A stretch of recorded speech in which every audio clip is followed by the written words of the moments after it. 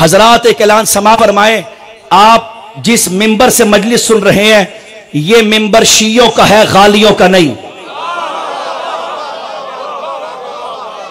जिनके हाथ नीचे है, उनका क्या ख्याल है? ताइद करते हैं?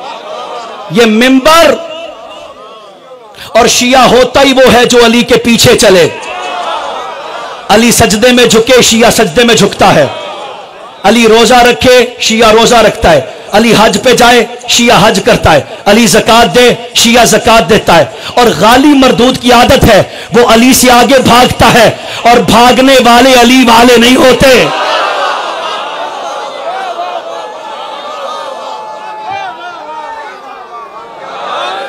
ऐलान समाज फरमा लिया मेरे भाइयों ने। मुझे माफ़ कीजिएगा, ये क्या बेहूद की है मिंबर से। खुदा की इबादत खुदा कर रहा है। खुदा की इबादत बस बंदा कर सकता है। धोखा मत दीजिए। सामीन, अब बात आ गई है तो मुझे करने दीजिए यहाँ पर। यह इकलौता मसलक है अली का मसलक, जो मुर्दों को भी कब्र में तोहीद का सबक पढ़ाता है। शक तो कोई नहीं इस बात पे। अल्हम्दुलिल्लाह हम हैं और बस हम हैं। जैदी साहब जो मुर्दे को लटा के उसके शान हिला इसमा इफ़ हम सुन, समझ। समझता वैसे ही अली वाला है।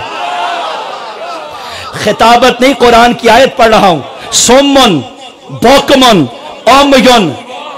कुरान कहता है, ये बोक है। जो अली की विलायत के कायल नहीं है। अली वाले का मौत बिगाड़ कुछ नहीं सकती। चूँकि मौत अली के घर की लौंडी है और लौंडियाँ नौकरियाँ करती है। कबर में लटा के मरहूम को। शाना हिला के कहते इस इस्मा इफ़ हम इदा अताकल मलिकान मुकर्रबान यस अलान का रब का फ़काल अल्लाह रब्बी व यस अलान का नबी का फ़काल मोहम्मद नबी व यस अलान का अन इमाम का फ़काल अली सुम्मल हसन सुम्मल हुसैन और फिर आखिर तक, हम जब तावीज़ कदर, कबर बंद कर देंगे तो कुछ देर के बाद अली के दो नौकर बन के तेरे पास मुनकर नकीर आएँगे और आके तुझसे पर्चा हल कराएँगे। पहला सवाल होगा, तेरा रब कौन है? तो बताना अल्लाह।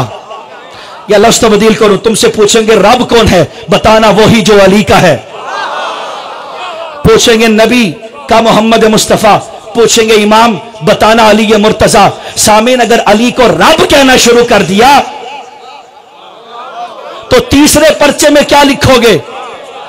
और तीसरे में फेल हो जाओगे। और अली फेल होने वालों का इमाम नहीं, नंबर वन का इमाम है।